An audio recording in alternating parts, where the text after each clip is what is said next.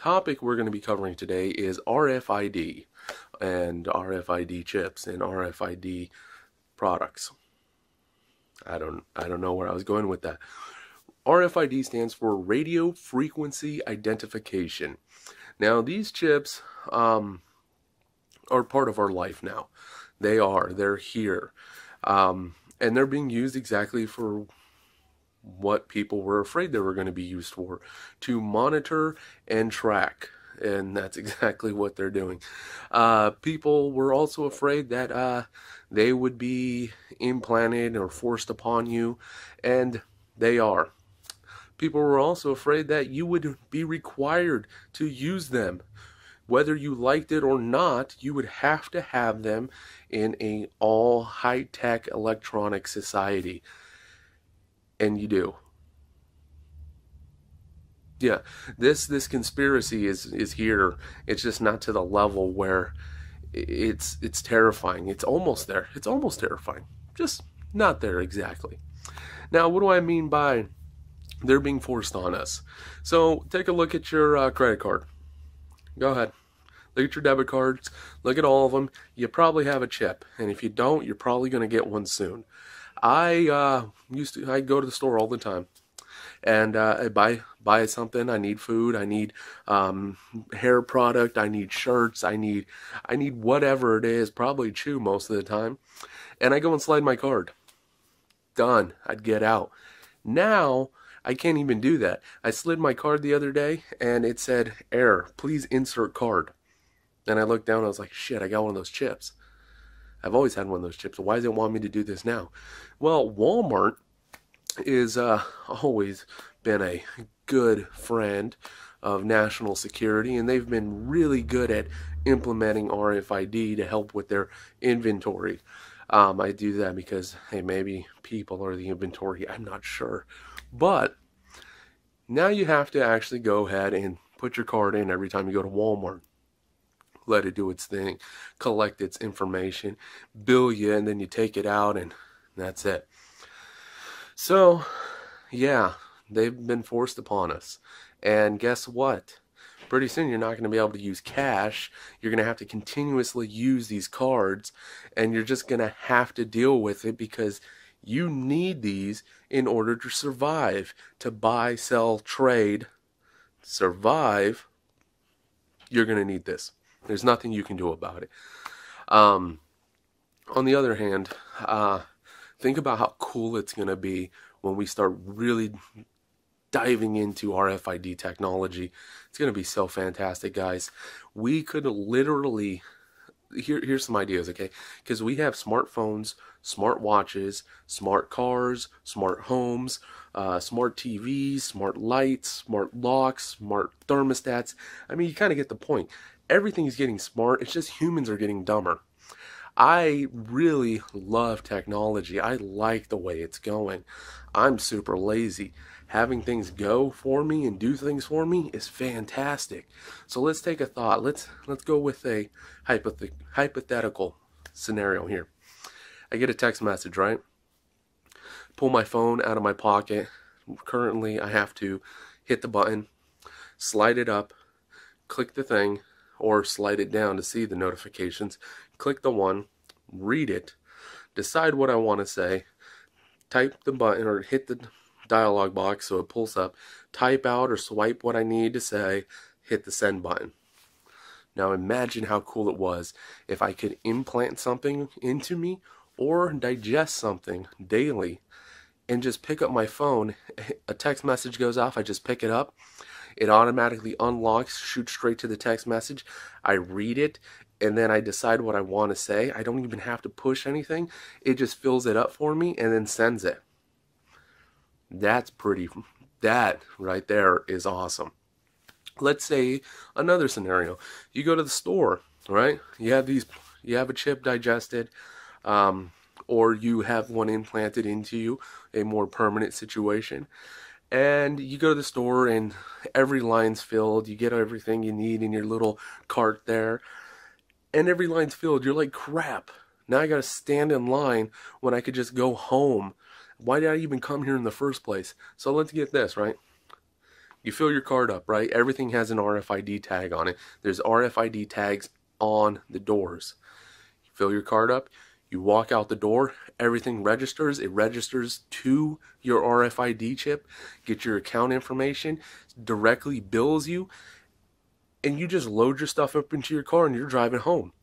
And by the time you get home, be probably before you even get into your car, your credit card, your debit card is being billed and processed for the goods you just purchased. Tell me how awesome that would be. Okay. Now I'm diving into the part of how cool all this stuff sounds. Now let's talk about the scary part of it the invasion of privacy, the fraud. And really, let's stop for a second on fraud. That's actually how they're selling this to you right now. Uh, they tell you your identity will be stolen if you slide your card. They can make uh, replica card readers that sit right on top of there. You don't even know. You slide it, you give them your information. With these chips now, you just insert them. It gives a unique ID, and no chance of fraud and theft is taking place. That's exactly how they're going to sell that to you to make you feel all warm and toasty inside. So you're like, oh man. It's not how it's really, but you get the idea. Okay, so invasion of privacy. Privacy. You, you, have you ever seen Minority Report? Dude, just like walking around, it's scanning his retina. That's part of this. That could be part of it. It could be a retina scan. It can be just a scanner that picks up your RID when you walk through. And when I said a lot earlier, I was talking about digesting a pill. That's something that actually exists. DARPA, or no, she was part of DARPA, but she's working with Google now or something like that. Um, there is no Skynet, guys. It's it's definitely just Google and Microsoft when the world ends. No Skynet. That, that those are that is our Skynet, Google and Microsoft. But anyhow, guys, she had a pill. Uh, tattoos, they follow pills or insert uh, chips and implant them in their bodies. But a tattoo, yeah, they'll love tattoos. Who doesn't love tattoos? Well, turns out the young generation actually is very conservative and they don't like tattoos. So yes, there are pills. They have been pr- uh, approved by the FDA. They can just swallow this and hey, you know, you're good. Makes you wonder if uh, that heart medicine you're taking doesn't have an extra little chip in it to uh, track your heart and send that back to the the database. I don't know. Anyhow, guys, this is a very real conspiracy that is unfolding in front of us. Yes, privacy and the invasion of privacy is something to be concerned about. Um, I can't wait till it happens. Oh, technology. It's so, so good. I have something very interesting today that caught my attention. Shout out to Ephesians 6 YouTube channel. I will link the video that inspired this one in the description. So let's jump right in. The term I am seems to be quite powerful and is used more often than any of us even think about. Before researching this, it was the furthest thing from my mind. Just a quick search of I am revealed many things, including a movement that believes the phrase has healing power. Most of you should be familiar with the Invictus Games logo that has a yellow I am in the center. It's pretty hard to miss, but we will get back to that. Is anyone familiar with the pop star Will I Am? Well, this is where I got hooked because I've looked into Will I Am in the past and I found that he is admittedly a futurist, meaning that he is big on the development of future technologies. Not to say that this is inherently bad, but when you understand what I am actually means, then it changes your perspective pretty quickly. So, what does I am mean? I asked my brother Nicholson 1968, and here's what he had to say. When God revealed his name to Moses, he revealed himself as YHWH, all caps, or Yahweh, which is best translated as I am that I am. Here's the exact verse from Exodus 3:14. And God said to Moses, I am that I am. And he said, Thus you shall say to the children of Israel, I am has sent me to you.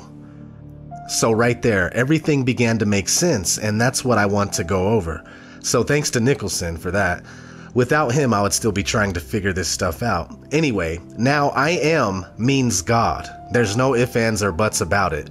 Will I Am owns a company called I Am Plus that sells just a couple of technology based products so far. One of them is Bluetooth wireless headphones called Buttons, and they also sell a smartwatch called a Dial. When you go to the About section of I Am Plus, it says this Founded by innovator and global music artist will.i.am, I Am Plus is a Hollywood based technology company whose mission is to create technology hits that create a ripple effect across pop culture. Our vision is to create a community of creatives and coders, and believe that through music and technology as the first step, we can usher in a powerful new era built on AI artificial intelligence, of course. So, this is obviously a pro transhumanism company. Not to mention, H plus is the abbreviation for transhumanism, and there is a magazine called H plus dedicated entirely to transhumanism.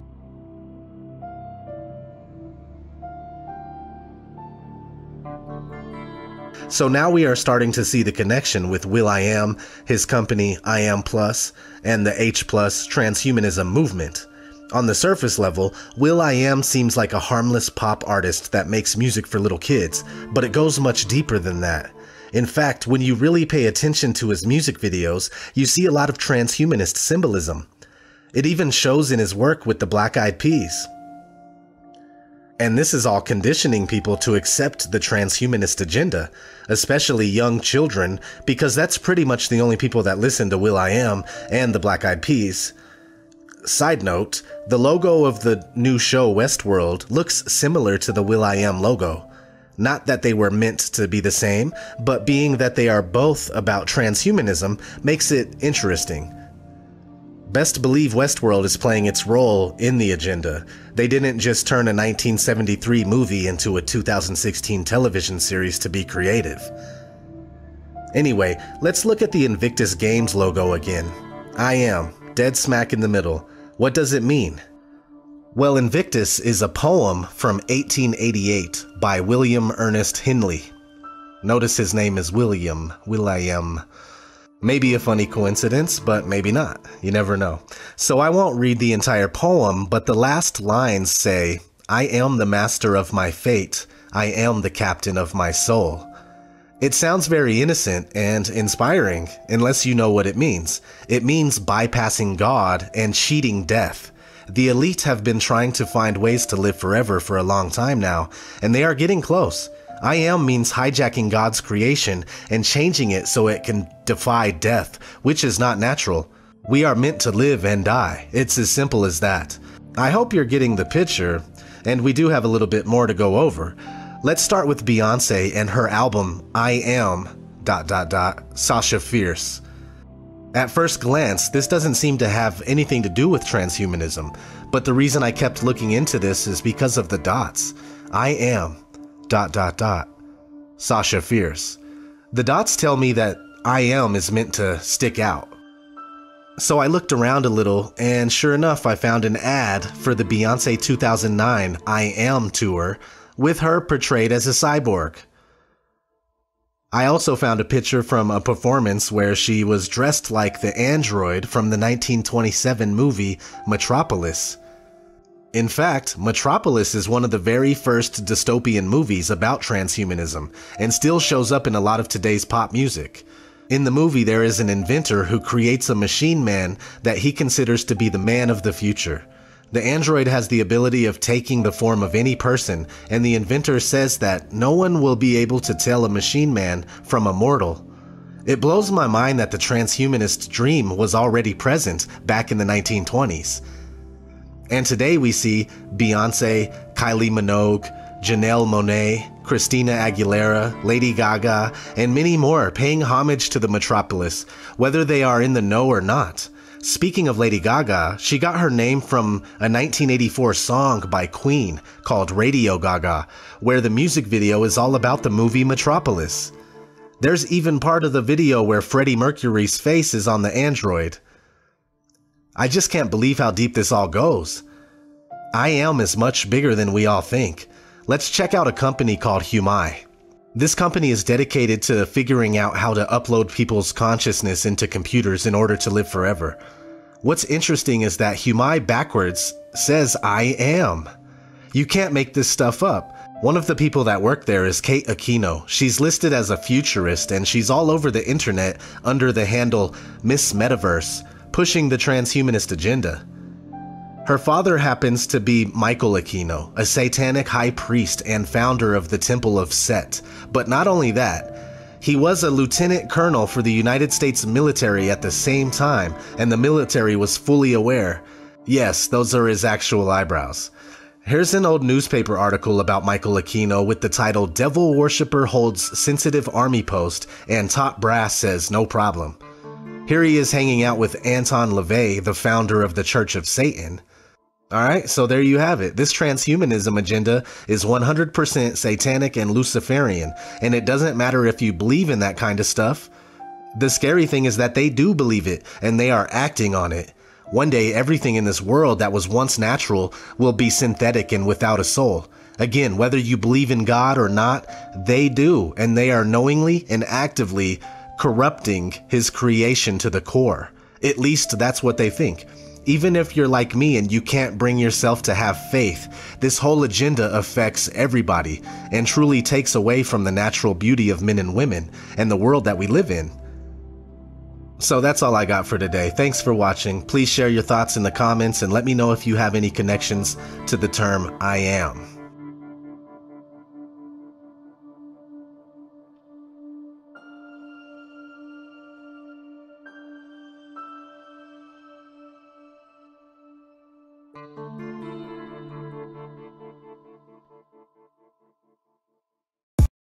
So much for watching. I hope you enjoyed this video presentation. If you did, please subscribe to my YouTube channel, like the video, and share it on your favorite social media sites. There's a lot more to come, so stay tuned and we'll see you back next time.